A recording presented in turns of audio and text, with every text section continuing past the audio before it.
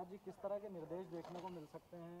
चाहे वो रियायत की बात करें या सख्ती की बात करें, क्या अपडेट है आज देखिए, रियायत तो अभी नहीं है कोई भी, पर जैसे पैथोलॉजी लैब्स हैं, ये पिछले समय में जब ये शुरू हुआ था, मार्च के अंतिम सप्ताह से जो थोड़ा केस सा हुआ था, उसमें कई सारे अस्पताल बंद हो गए थे।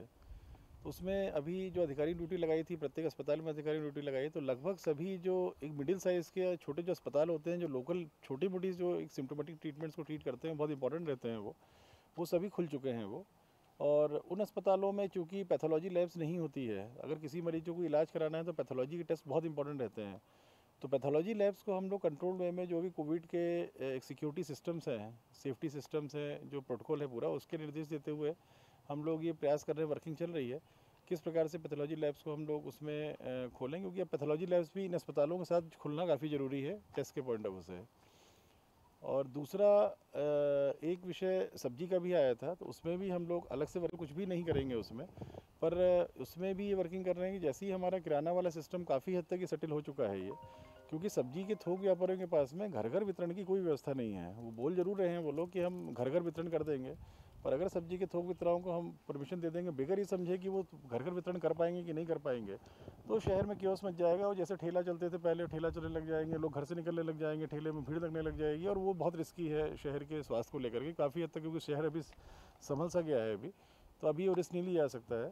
तो उसमें जो आ, हमारे किराना व्यापारी हैं कि जिस प्रकार से हम लोगों ने इनको गेहूँ के आटा के इन ट्रेडर से जोड़ा हुआ है उसमें वर्किंग करेंगे कि कैसे ट्रेडर्स ये ग्रामीण क्षेत्रों में पैकेजिंग कर दें उसमें फ़िक्स आइटम्स रख देंगे फ़िक्स कॉस्ट कर देंगे उसमें और किस प्रकार से वो ट्रेडर्स अपनी गाड़ियों को जो परमिशन हम लोग देंगे, उससे इन हमारे जो लगभग 1200-1300 किराना सप्लायर्स हैं, उनको सामान पहुँचा सकते हैं, सब्ज़ी पहुँचा सकते हैं।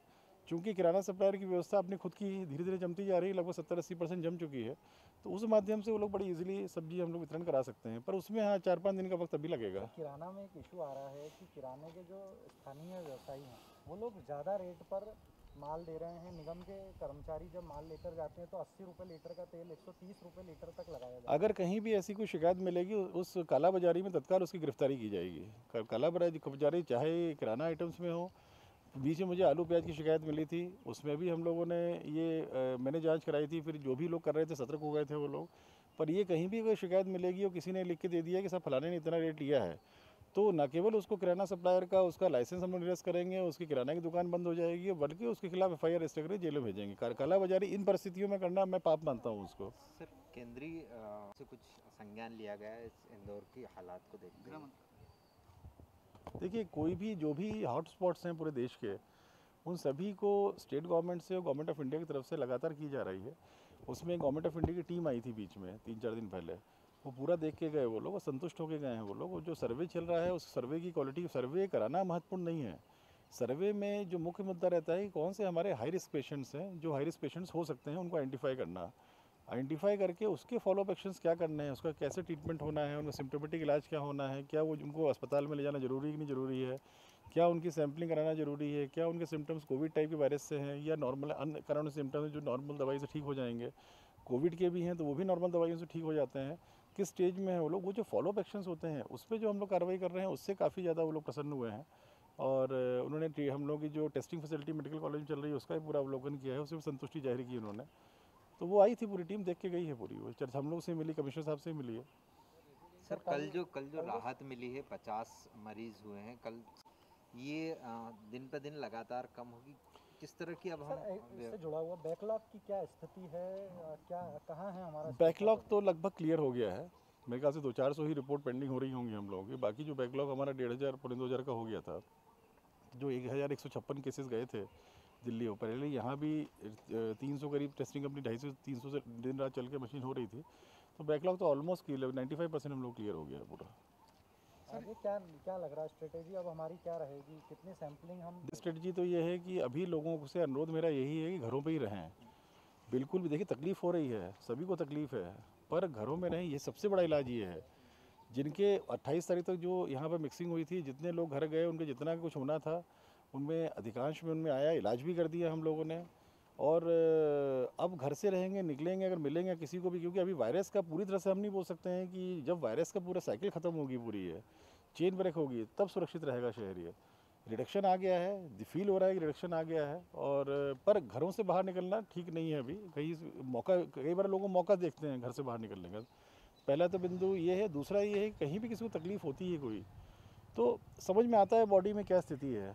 कृपया करके ऐसा कुछ है तो हमारे जितने भी येलो अस्पताल हैं, चाहे वो विशेष हो, चाहे सुवेश हो, चाहे गोकुलदास हो, शैलबी को ले लिया है हम लोगों ने, उसमें जाए, उनमें ओपीडी चालू रहती है, ओपीडी में दिखाएँ जा करके अपना और अपना इलाज कराएँ, उसमें चूक ना करें।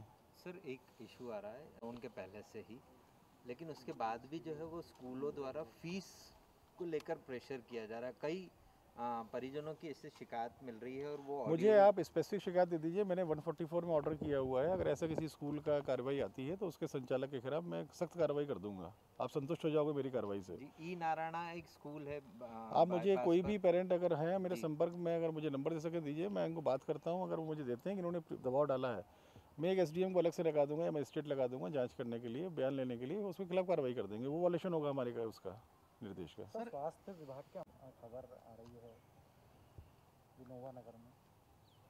चाकूबाजी हुई सर चाकू मारा।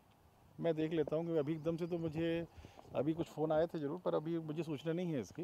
विनोना वो एक ही केस था कोई? उस एक केस में अ, उसमें वहाँ पर कुछ डेथ भी हुई थी परसों नरसों वो ऑफकोर्स कोविड से नहीं थी। किसी का फ़ोन मेरे ही पास आया था तो मैंने वहाँ एस टीम भेजी थी वहाँ पर कि वो जाँच वाँच कर ले डॉक्टर देख ले तो एक दो लोगों को हम लोगों ने वहाँ पर उसमें ऑब्जर्वेशन में भी रखा हुआ था।